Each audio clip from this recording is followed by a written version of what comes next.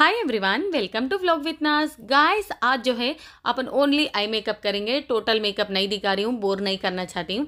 Okay eye makeup अच्छे से आना बोले तो फाउंडेशन या नहीं तो कंसीलर ले लीजिए. आई लिड पहना अप्लाई करके अच्छे से ब्लेंड कर लीजिए. फिंगर से ब्लेंड कर लीजिए या नहीं तो ब्रश से ब्लेंड कर लीजिए, आपकी मर्ज़ी. बट अच्छे से ब्लेंड कर लीजिए. उसके बाद जो है लूज पाउडर से सेट कर लीजिए गाइस चलिए गाइस ये आई मेकअप लुक आप वेडिंग गेस्ट हो, कौन सा भी फ़ंक्शन जाना चाह रहे हो, इस तरह का मेकअप कर सकते हो।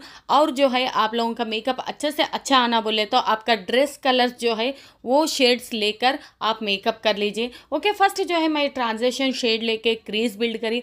उसके बाद जो है, मेरा ब्लाउज़ को मैचिंग मैं आई ले रही हूँ। आई लेकर आई लिड पे अप्लाई करके अच्छे से ब्लेंड कर रही हूँ। ब्लेंडिंग बहुत ही ज़्यादा ज़रूरी है गाइस जितना अच्छा ब्लेंड करेंगे फिनिशिंग उतना ही स्मूथ दिखेगा। अच्छे से पापा पोके आ जाएगा आपका आई मेकअप ओके चलिए, उसके बाद जो है, मैं ब्राउन आई ले रही हूँ। Brown eye shadow only half lid से यूज़ कर रही हूँ यहाँ पर। हाफ़ लिड से आउटर वी तक ही यूज़ कर रही हूँ, क्योंकि मैं थोड़ा सा स्मोकी इफ़ेक्ट भी देना चाह रही हूँ। ओके गाइस, चलिए। उसके बाद जो है मैं आईब्रोज फिल कर रही हूँ। अगर से आप लोग चाहे तो मैं इस तरह का आई मेकअप और बहुत डालना चाहूँगी। ओके गाइस, चलिए, मैं पूरी मेकअप इसलिए नहीं दिखा रही हूँ। आप लोगों को बेसिक मेकअप तो सबको पता ही होगा। अगर से आप लोग बेसिक मेकअप देखना चाहते हैं तो उसका भी एक ट्यूटोरियल बना देंगे ओके चलिए, अब जो है गाइस मैं यहाँ पर आईब्रोज बहुत ही लाइट फील कर रही हूँ, एकदम नेचुरल रखना चाह रही हूँ, इसलिए लाइट फील करी ओके चलिए उसके बाद जो है गाइस मैं यहाँ पर आईलाइनर ड्रा कर रही हूँ। मैं यहाँ पर जो है स्विस ब्यूटी का जेल आईलाइनर यूज़ कर रही हूँ। मुझे सब में अच्छा बेस्ट जेल आईलाइनर दिखता मेरे लिए तो मैं वही जेल आईलाइनर यूज़ करती हूँ। बहुत ही परफेक्ट आता। ओके गाइस चलिए, यहाँ पर देख रहे हो ना धीरे धीरे आई ड्रा करना चाहिए वरना अपना आई मेकअप खराब होने के चांसेस रहते। ओके चलिए चलिए गाइस यहाँ पर जो है लैशेस कलर से कल करी लैशेस को, उसके बाद जो है ओनली अपर लाशेस के मैं मस्कारा अप्लाई कर रही हूँ। यहाँ पर देख रहे हो ना, मैं लोअर लाशेस पे अप्लाई नहीं करना चाह रही हूँ थोड़ा सा डिफरेंट रखना चाह रही हूँ। ओके आप लोग चाहे तो अप्लाई कर सकते हो। यहाँ पर जो है गाइस मैं काजल अप्लाई कर रही हूँ। कभी भी काजल अप्लाई करते वक्त भी आई लिड पर थोड़ा भी टच नहीं होना चाहिए।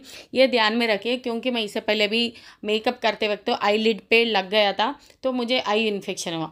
ओके गाइस अभी जो है मैं गोल्डन आई शेडो लेके इनर कॉर्नर पर अप्लाई कर रही हूँ, क्योंकि यहाँ पर मेरा ब्लाउज में गोल्डन टच है, इसलिए मैं गोल्डन आई शेडो लेके इनर कॉर्नर के पास अप्लाई करिए गाइस इनर कॉर्नर के पास अप्लाई करने से अपना आई मेकअप बहुत ही अच्छा लुक देता गाइस आप लोग ट्राई करके देखिए।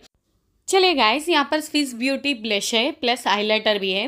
ये लेकर मैं ब्लश अप्लाई कर रही हूँ। बहुत ही अच्छा है, ये बहुत ही अच्छा शाइनी एंड बहुत ही अच्छा लुक देता ओके चलिए, उसके बाद जो है मैं लिप लाइनर ले ली। ये भी स्विस ब्यूटी का, ये लिप लाइनर का पूरा ट्वेल्व पीस का बॉक्स मंगाई थी। बहुत ही अच्छा ये लिप लाइनर तो बहुत ही अमेजिंग है। आप लोग चाहे तो परचेस कर सकते हो।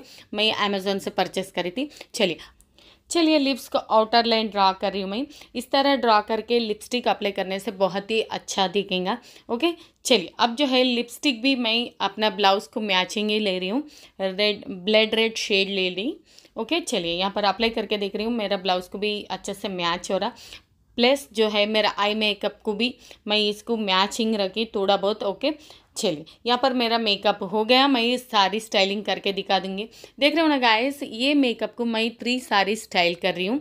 चलिए, यहाँ पर जो है, फ़र्स्ट साड़ी ये वाइट कलर साड़ी है, इस तरह स्टाइल कर रही हूँ मैं। एंड सेकेंड साड़ी जो है, गोल्डन साड़ी है, सेम ब्लाउज है, मेकअप भी वही है। नेक्स्ट हमारा थर्ड साड़ी है guys black sari black blouse, makeup तो वही है। मिक्स एंड मैच करी, इस तरह लुक्स क्रिएट करी।